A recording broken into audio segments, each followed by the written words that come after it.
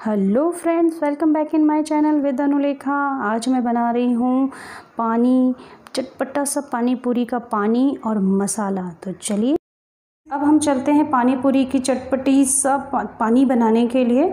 और हेल्दी पानी रहेगा ये डाइजेशन के लिए बहुत अच्छा लगेगा क्योंकि मैंने इसमें मिंट और आपके कोरिएंडर लीव्स और ये अपने ग्रीन चिली ये मैंने पुदीना, हरी धनिया फ्रेश फ्रेश लिया है इसे और धोकर मैंने इसे रखा है और ये मैंने ये ग्रीन चिली ग्रीन चिली अगर आपको पानी तीखा नहीं चाहिए तो आपको सिर्फ़ एक ग्रीन चिली डालिएगा अपने हिसाब से। और ये लिया है मैंने काला नमक और ये लिया है मैंने चाट मसाला, मैंने जलजीरा का पैकेट। अब मिक्सर जार, इसमें मैंने डाल दिया है पुदीना और सॉरी धनिया और ये डाला है मैंने अपना पुदीना। और यहाँ पर मैं डालूँगी एक हरी मिर्च और काला नमक और नींबू का रस डाल के बस मैं इतना ही फाइन पेस्ट बनाऊँगी। उसके बाद मैं अपने जलजीरा और बाकी के इंग्रेडिएंट्स को ऐड करूँगी। ओके फ्रेंड्स देखिए मैंने मिक्सी में अपने पूरे इंग्रेडिएंट्स मिला लिए हैं, जो मैंने आपको बताया था। मिंट धनिया, सब की चीज़ों का मैंने यहाँ पर एक फ़ाइन पीस तैयार कर लिया। अब चलते हैं हम पानी बनाने के लिए। फ्रेंड्स यहाँ पर मैंने जलजीरा के लिए पानी ले लिया है। अब इस पानी को आपको अपने हिसाब से लेना है कि आपको कितना पानी बनाना है। फिर उसमें हम ये अपना जो पेस्ट तैयार किया है, मैंने वो मैं पेस्ट इसमें ऐड कर दूँगी। ये मैंने अपना पेस्ट ऐड कर दिया है इसमें। ये देखिए, ये मेरा फाइन सा पानी तैयार हो रहा है। अब इसके बाद मैं हल्का सा इसमें काला नमक ऐड करूँगी। वैसे हमने चटनी में काला नमक ऐड किया है तो नमक का बहुत ध्यान रखिएगा। अब मैं इसमें ऐड करूँगी आपके चाट मसाले।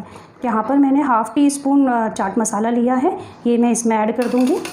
उसके बाद मैं इसमें अपना ऐड करूँगी जलजीरा। जलजीरा इसमें मैं दो या तीन चम्मच ऐड करूँगी।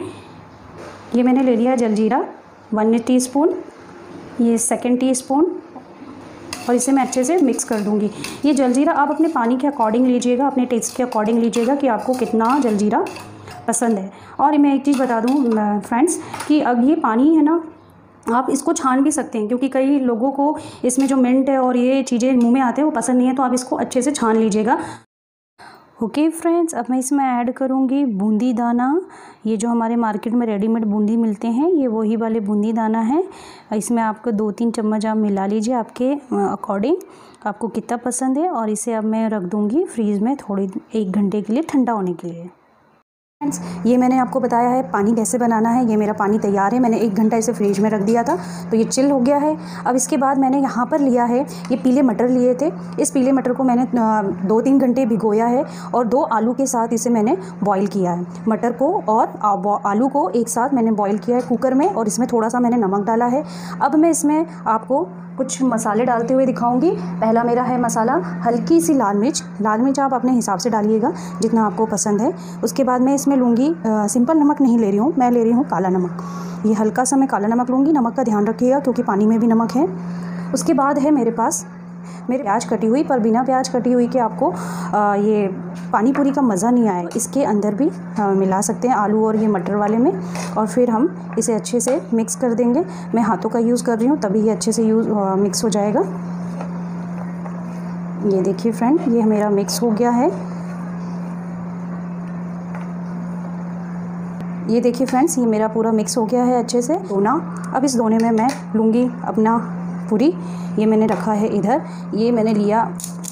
ये देखिए कितनी करारी पूरी है। आवाज़ आ रही होगी आपको। और ये मैंने इसमें भरा आलू का मसाला। और ये मसाला भर के मैंने इसमें थोड़ा सा प्याज डाला है, ये प्याज। और इसके अंदर इसके अंदर मैंने डाला है ये पूरी। पानी डाल दिया। और ये मेरा पानी पूरी रेडी है। आप भी ऐसे बनाइए। और इस लॉकडाउन में जो हमें बाहर नहीं खाना है, और घर में आप आराम से